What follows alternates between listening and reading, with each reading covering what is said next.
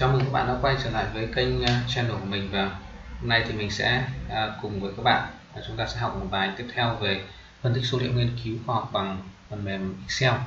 Và cụ thể nội dung trong bài này, mình sẽ hướng dẫn các bạn cách làm ước lượng khoảng cho số trung bình tổng thể. Thì ước lượng khoảng là gì, cũng như là ý nghĩa của nó là gì, vân vân, thì chúng ta sẽ được cùng nhau trao đổi trong cái đoạn tới video. Và bây giờ thì trước hết thì chúng ta sẽ bật video bật Excel lên như thế này. Nó khởi động lên thì được như này. Sau đó chúng ta sẽ cùng nhau mở lại cái ờ, file hôm trước. Của chúng ta thì thường như file của, của số liệu của tôi tôi để trong ổ D trong folder teach ờ, Excel và mở cái cái file số liệu chúng ta ra. Thì đây là cái uh, file số liệu hôm trước mà chúng ta có.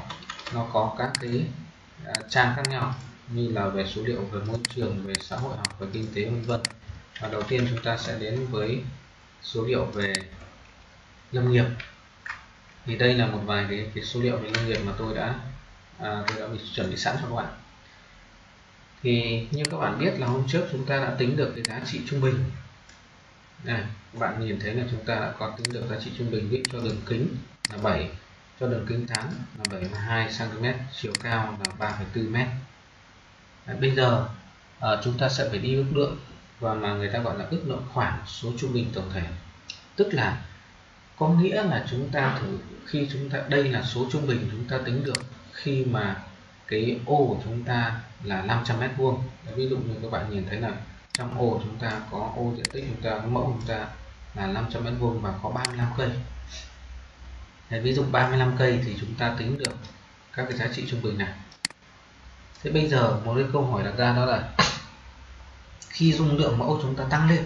Giả sử như chúng ta muốn biết là khi chúng ta có khoảng một nghìn cây một trăm cây một triệu cây hay là cả trong tổng thể tức là tổng thể tức là cả một cái vùng nghiên cứu lớn hơn đấy thì cái số trung bình của mình nó nằm trong khoảng nào? Tức là nó dao động và nó nằm trong khoảng nào? À, và chúng ta có thể tin được với độ tin cậy là là bao nhiêu? À, và à, chúng ta cái phương pháp ước lượng này gọi ta gọi là phương pháp ước lượng tham số tức là chúng ta vẫn phải phải biết được là phân bố chúng ta là phân bố gì. Thì thông thường ấy, đối với Excel thì nó giả thuyết là phân bố chúng ta là phân bố chuẩn. Tức là chỉ có ước lượng số trung bình tổng thể và cho phân bố chuẩn ấy, thì uh, họ sẽ uh, họ sẽ sử dụng Excel. Thế thì để ước lượng số trung bình tổng thể trong Excel chúng ta làm như thế này. Cũng khá đơn giản thì chúng ta làm như thế nào? Chúng ta làm như sau. Nhất là chúng ta vào data sau đó chúng ta sẽ chọn data analysis. Giống như chúng ta làm mọi khi tất cả đều vào đây. Sau đó chúng ta vẫn chọn descriptive statistics. Vẫn chọn như này. Đó, sau đó click ok. Và vào khi đó thì cái à, cửa sổ của chúng ta nó sẽ hiển thị ra đây. Thì muốn ước lượng đầu tiên các bạn sẽ quét kích vào nút này để chúng ta quét cái số liệu của chúng ta. Ví dụ tôi quét cái số liệu đường kính của chúng ta như thế này Rồi, quét lên đây chẳng hạn. Đó chúng ta sẽ có cái số liệu đường kính và quét như này là có cả tiêu đề vì tiêu đề là hàng đầu tiên. Sau đó chúng ta kích vào nút này để sổ ra. Số liệu chúng ta bố trí theo cột nên chúng ta chọn column. Và vì có cả nhãn tức là có cả tên của cái cột đó nên là chúng ta sẽ phải kích vào cái ô là label in first row này sau đó chúng ta sẽ chọn vào mục là output range, tức là vùng xuất số vùng xuất kết quả ra. Và sau đó chúng ta sẽ kích vào cái nút này. Rồi chúng ta sẽ di chuyển sang bên này. Để chọn bất kỳ một ô nào chúng ta muốn xuất kết quả, tôi muốn xuất ở đây này. Và sau đó chúng ta sẽ kích vào, gọi là, nhớ là là conference level for và thông thường ấy, chúng ta sẽ ước lượng với độ tin cậy là 95% chúng ta hoàn toàn có thể thay đổi con số này. Và trong số liệu thì nó có 3 trường hợp thông dụng nhất đó là chúng ta ước lượng với 95% với 99% và với 90% thế nhưng mà thông thường nhất là với 95% đó. Và sau đó các bạn ok thì lập tức nó sẽ ra được cái phần ước lượng của chúng ta đó. Ra được phần ước lượng chúng ta là là như thế này. Thế thì có nghĩa là có nghĩa là gì? Thì có nghĩa là sau khi chúng ta có min ở bên trên như thế này. Min đây thì sai số sẽ là như này. Và vì thế chúng ta có cái công thức ước lượng khoảng chúng ta là là như thế này. Đó thì có nghĩa là à, nước lượng là nó sẽ có hai cái cận tức là cận này người ta gọi là cận dưới này cả cái cục này người ta gọi là cận dưới cả cái cục này người ta gọi là cận trên. Thì u alpha trên 2 s trên n ấy, là cái sai số. X trung bình người ta tính được rồi đúng không? Tức là x trung bình chính là cái số này. Số này này đó. Thế nhưng mà sai số thì bây giờ họ mới ta sai số là cả cái cụm là u alpha trên 2 s trên n tức là là các bạn ghi hiểu luôn na một cách đó là u alpha là giá trị tra bảng phân bố chuẩn s là sai tiêu chuẩn và n là dung lượng mẫu. Hôm trước chúng ta đã làm được đấy. S chính là sai tiêu chuẩn tức là cái hàng này, này. N chính là số cây. Đó và máy nó tự động tính không ta đã tính như trong bài học trong bài hôm trước tôi đã chỉ cho các bạn này đấy. Thế và à, sau đó thì nó tự động tính cho mình cái sai số. Đấy, tức là một cách viết khác của cái ước lượng ấy thì người ta sẽ thông thường người ta gọi là ước lượng thì người ta có thể viết kiểu như thế này tức là nếu mà ước lượng khoảng ấy, thì người ta sẽ chỉ ước lượng theo kiểu như này tức là tham số mình cần ước lượng ví dụ số trung bình thì bằng trung bình cộng trừ cái sai số. Các bạn hiểu luôn là đấy. Thì nó sẽ ra đấy nó sẽ ra cái sai số chúng ta như này. Thế thì chúng ta sẽ có thể à, tôi sẽ thử chạy lại cho chúng ta xem là là tích vào đây để xem nó ra cái gì vẫn ra chỉ có một cái số đấy thôi phải vậy bây giờ tôi sẽ chạy lại chúng ta và mỏ này. Cái này chính là cái tính đặc trưng mẫu trước chúng ta học. Nó ra như thế này đấy thì sau khi ra được được cái này rồi, thì đây chính là sai số nhé. Thì các bạn nhớ ước lượng bao giờ cũng bằng là ước lượng bằng tham tức là tham số. Thì bao giờ nó cũng bằng là gì? Bao giờ nó cũng bằng gọi là cộng trừ cái min tức là số trung bình. À, tức là số trung bình cộng trừ sai số. Đó. Thế thì bây giờ chúng ta sẽ tính hai cái cận gọi là cận dưới. Cận dưới thì nó sẽ bằng là cận dưới chính là cái này. Vâng các bạn hiểu đâu là các bạn có thể đọc thêm lý thuyết ở ờ, ước lượng trong các cái sách thống kê khác nhau. Thì ước lượng chính là cái cái cái cụm này là cận dưới. Tôi xin lỗi, cận dưới chính là cái cụm này là x trung bình trừ đi u alpha trên 2 nhân s chia cho n. Thế thì nó sẽ bằng x trung bình, chúng ta thì có là bằng x trung bình là cái hôm trước chúng ta tính rồi, bằng cái này. Trừ đi cái này. Đó là cận dưới đấy. Cận trên. Và nó bằng x trung bình, đúng không? X trung bình cộng với cả cái sai số. Thì sai số đây, các bạn nhớ là sai số tự động tính như đây. Nên bằng x trung bình cộng với cả sai số. Đó thì x trung bình là đây. Như vậy thì chúng ta luôn luôn có một cái câu mà chúng ta hay kết luận đó là chúng ta thường kết luận như thế này. Là chúng ta tin 95% rằng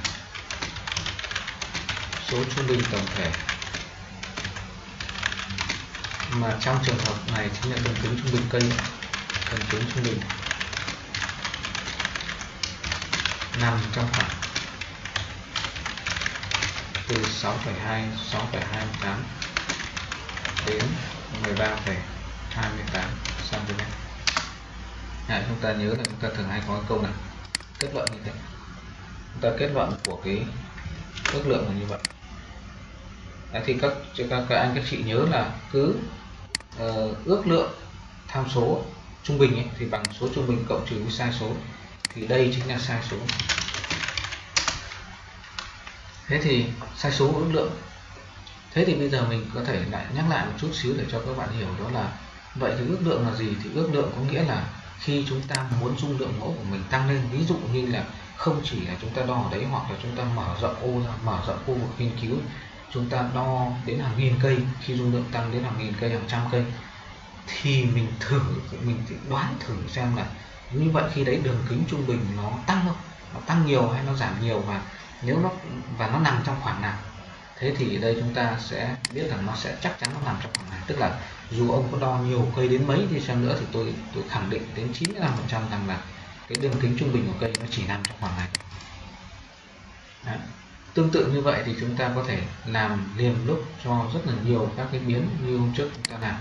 Giờ tôi sẽ làm thử cho các bạn xem. Ví dụ chúng ta vào data à, vào data sau đó vào data analysis vào đây. Sau đó chúng ta chọn descriptive chọn ok. À, chúng ta có thể chọn liền lúc nhiều biến chứ không phải chọn chỉ cần một biến đường kính. Bây giờ tôi chọn liền lúc bốn biến. Rồi sau đó click vào conference level for min. Đấy, rồi ok bây giờ chúng ta sẽ à, chọn ra một cái vùng khác để chúng ta xem nhé. Ta chọn đơn hạn ok. Đó, như vậy thì nó sẽ cho chúng ta cái gì? Cho chúng ta cái um, sai số của rất nhiều các cái biến khác nhau liền lúc. Ờ, đó, như các bạn nhìn thấy đây đó thì chúng ta chỉ việc lấy số trung bình bên trên này thôi là chúng ta tính được này. Tính bên trên cộng trừ với cái sai số này là nó sẽ ra hai cận này. Các bạn thấy đơn giản lấy cái min này cộng trừ với cái sai số mà nó cho nó ra nó tự động tính cho ta được cộng trừ với sai số này, nó ra cái hai cái cận. Thì chúng ta biết ngay là trung bình nó chỉ chạy trong cái khoảng đây với một cái độ tin cậy trong trước. Mặc dù là có như thế là có nghĩa là nó để chúng ta đoán là khi chúng ta áp dụng cái số liệu cái loại rừng này mà ra khu vực khác hay chúng ta mở rộng cái cái, ô tiêu chuẩn của chúng ta ra khu vực nghiên cứu chúng ta và dung lượng mẫu tăng lên thì chắc chắn đường kính nó cũng chỉ nằm trong khoảng đấy. Chúng ta có thể đoán được nó chỉ nằm trong khoảng đấy. Ước lượng là chỉ để đoán. Đó. tương tự như vậy thì chúng ta có thể chuyển sang số liệu về nông nghiệp. Chúng ta cũng sẽ vào gì?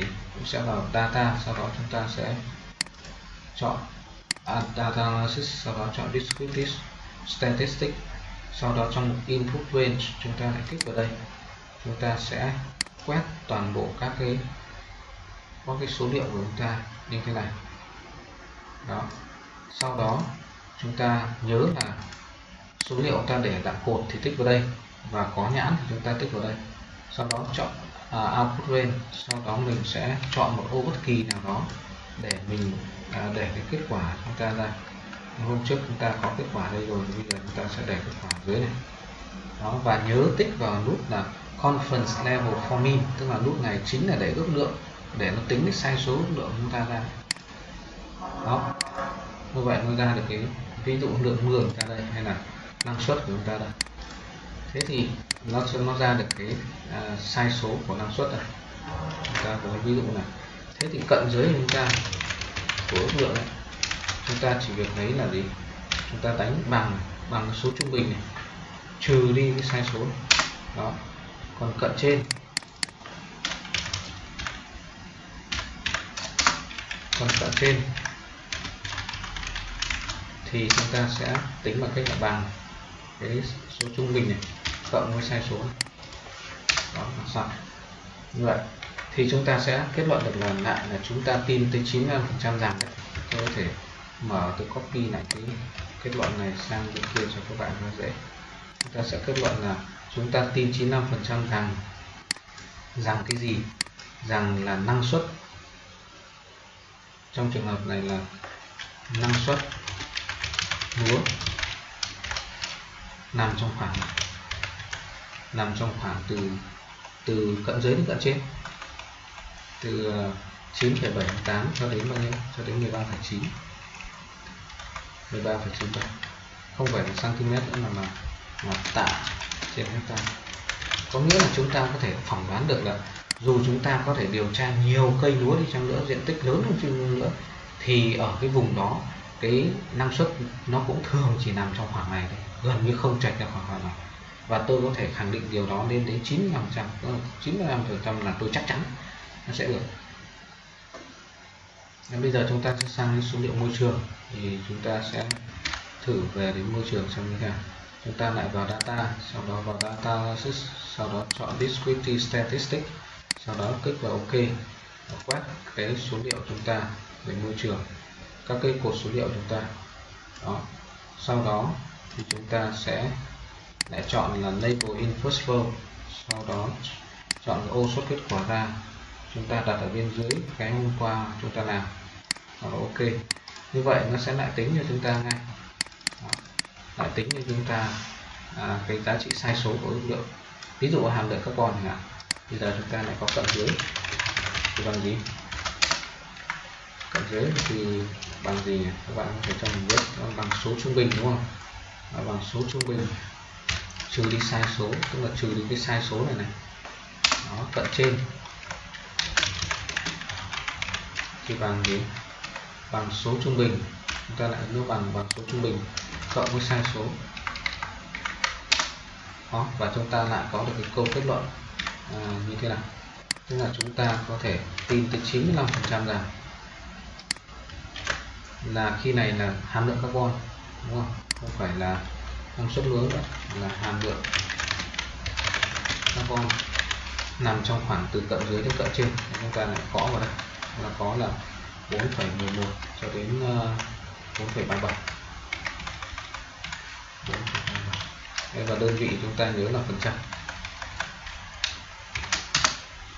Đó, như vậy chúng ta chắc chắn rằng là như vậy hàm lượng carbon ấy, nó sẽ chỉ nằm trong khoảng này thôi. Với cái độ tin cậy 95% mặc dù sau này chúng ta có thể tăng nếu chúng ta muốn tăng cái số lượng điểm chúng ta điều tra lên số lượng mẫu chúng ta tăng lên hay là chúng ta áp dụng cho khu vực khác thì chúng ta khẳng định là tương đối tin rằng là chúng ta đoán là là hàm lượng carbon nó chỉ nằm từ 4,1 đến 4,37 phần trăm thôi.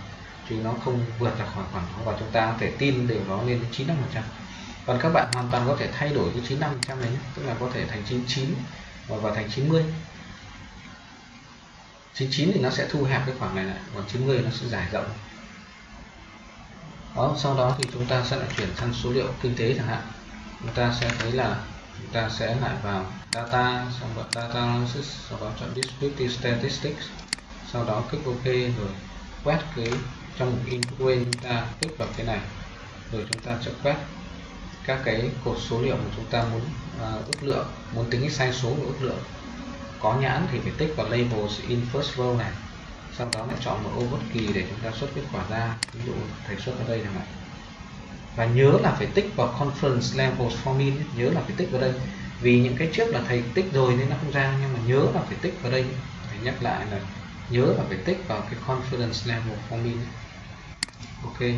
Đó nó sẽ lại tính ra sai số chúng ta. Ví dụ như sai số ở đây à, tôi có ở đây là gì? Là sai số cho à, thu nhập chẳng hạn. Đấy thì chúng ta lại có cận dưới là gì? Chúng ta lại có cận dưới. Bằng chúng ta lại thấy là nó sẽ bằng số trung bình chúng ta tính được hôm trước đây này số trung bình là 7,8 triệu một năm trừ đi cái cận dưới này. nó còn cận trên thì nó sẽ bằng số trung bình cộng với cái sai số này. Đó. nếu các bạn à, sau đó chúng ta kết luận bằng cách là gì Đó, chúng ta lại kết luận là chúng ta tin tới 95% rằng là cái trung bình tổng thể trung bình tổng thể trong trường hợp này là trung bình về thu nhập ấy, nằm trong khoảng từ gì? Từ 6,16 6,1 uh, 6,167 6 à, 61 61 7 68 bởi vì nó làm tròn đến à, uh, 94,445 triệu trên năm đó, như vậy chúng ta sẽ thấy rằng chúng ta phải đoán được khi mà số lượng uh, chúng ta dù có thể phỏng vấn cao lên chăng nữa nhé. Nhiều nữa nhiều hộ gia đình nữa. À, hoặc là chúng ta đem cái kết quả đem chúng ta điều tra ở khu vực khác ấy. thông thường là điều tra khu vực khác thì không thực sự đúng lắm. Nhưng mà chúng ta muốn dung lượng mẫu của mình tăng lên ấy mà cũng chính trong khu vực đấy này thì mình có thể đoán là thu nhập nó chỉ nằm trong khoảng này nó không vượt ra, ra khỏi khoảng này tức là chỉ từ 61 triệu cho đến à, 94,45 triệu và ta có thể đoán được tin có thể tin đến 95 trăm. Tức là dù chúng ta có thể phỏng vấn nhiều người hơn trong nữa đặc biệt là khu vực gần đấy hoặc là chúng ta có thể đi khu vực khác nhưng mà à, cái cộng đồng nó phải tương đối ừ, giống nhau chứ nó khác nhau thì thì cái ước lượng này là không đúng. Tức là ước lượng hoàn toàn có thể đúng hoặc sai tức là ước lượng này gần như là kiểu chúng ta phỏng đoán này thì có thể là không đúng. Thì đấy là toàn bộ cái cái, cái bài học về ước lượng số trung bình tổng thể mà tôi mong muốn hướng dẫn cho các bạn thì nhắc lại đó là à, ước lượng là chúng ta thử phỏng đoán xem là số trung bình tổng thể nó nằm trong khoảng nào khi mà dung lượng mẫu chúng ta tăng lên hoặc khi chúng ta đem điều tra khu vực khác mà cùng đối tượng nghiên cứu thì mình đoán thử xem là nó sẽ nằm trong khoảng nào. Thì đấy là toàn bộ cái nội dung hôm nay và à, xin cảm ơn các bạn đã chú ý theo dõi và rất là mong các bạn có thể ủng hộ uh, kênh bằng cách là đăng ký kênh, tức là ấn vào nút subscribe, hoặc là like hoặc share, hoặc là cho tôi comment những cái gì mà các bạn mong muốn tôi trình bày trong các cái video tiếp theo. Về phân tích số liệu nghiên cứu thì các bạn có thể trình bày ở phần bên dưới, comment bên dưới. Một lần nữa, xin cảm ơn.